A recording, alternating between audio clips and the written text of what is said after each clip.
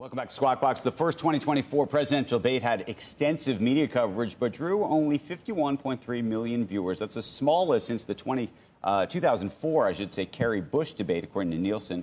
Joining us right now is Ben Smith, Semafor co-founder and editor-in-chief. Good morning to you.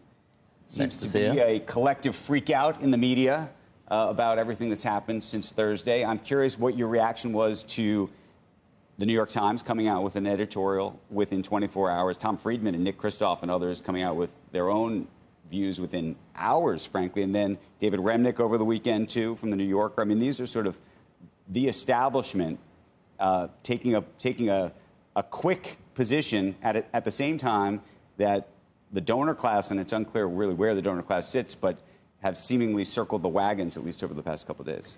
Yeah, I mean, I think, you know, the media at some point is reckoning with this kind of unbelievable failure to do our own jobs. The, um, I mean, you know, the President of the United States, probably the most important subject for media coverage in America. And so the fact that everyone was surprised, that we were all surprised right. by what he was like, really represents this huge reporting failure. And I think, you know, place, you know, outlets, the Times and others did stories about his age in the context of other stories saying his age was fine.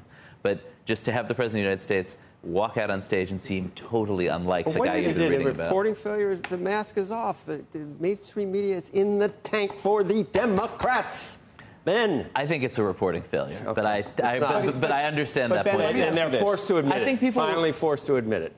I think they're a, they're a Praetorian guard for Joe Biden. I think they were. I mean, I do think the White House genuinely kept him sheltered. Oh, and I think, well, how did I, I know? Think, I, you just did a, know. I'm a mean person but, but, that I that I've been saying that don't believe your eyes for six months. You didn't you know? Didn't you know? I mean, I, I honestly watching him? I, I know. I mean, I, did, I think I was surprised. I didn't think it was that bad. Ben, let me ask you this though, and this goes, I think, to a little bit of information, misinformation, truth, and everything else yeah. that people believe. So I very distinctly remember talking to Kevin McCarthy uh, back actually in November at the DealBook conference, where he explicitly came out publicly and said, I was in a meeting with Biden. He, he gave the whole thing and said he is not with the program. He, he's, lost, he's lost it. He said it. Yep. It, was, it was just said. And then I interviewed the vice president two hours later. And I played that effectively back to her. And she said, That's not the Joe Biden that I know. Da da da da da da da. My question to you is how much of this, not as a reporting failure, I'm sort of a little bit with Joe, in that I think people wanted to see what they wanted to see and they weren't willing to push when they were, and, and for some reason, age is a very complicated topic for a lot of people. And so when you push on something and they, they push back yeah. and say, oh, come on, you're being an ageist, or you're not really, you know, that people didn't want to fully go there.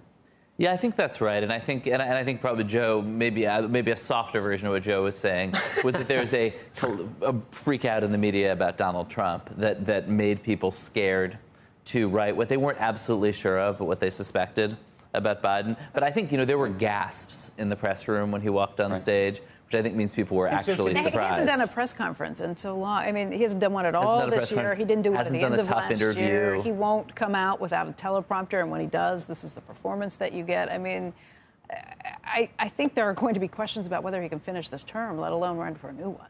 You know, I think that's right. And I mean, the, and the narrative over the last month has been, you know, you see these clips of him on social media looking old, yeah. but they're out of context, they're edited. Trump is but old too, and the debate really. So, to the extent that put there's the lie a, to that